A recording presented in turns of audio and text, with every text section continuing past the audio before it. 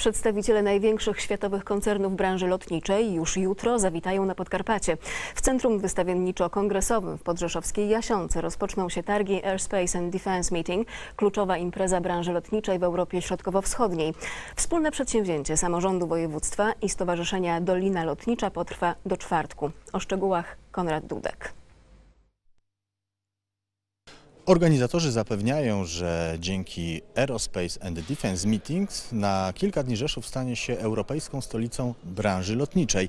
I nie ma w tym stwierdzeniu przesady, zważywszy, że udział w targach zapowiedziało 150 wystawców z 25 krajów, w tym potentaci branży jak Pratt Whitney, Lockheed Martin czy Airbus.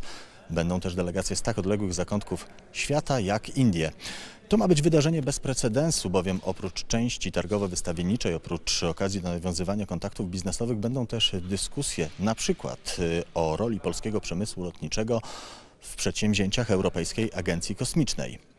Zważywszy, że lwia część y, polskiej produkcji lotniczej pochodzi z Podkarpacia, to także doskonała okazja do promocji regionu oraz y, przemysłu zbrojeniowego, lotniczego i kosmicznego.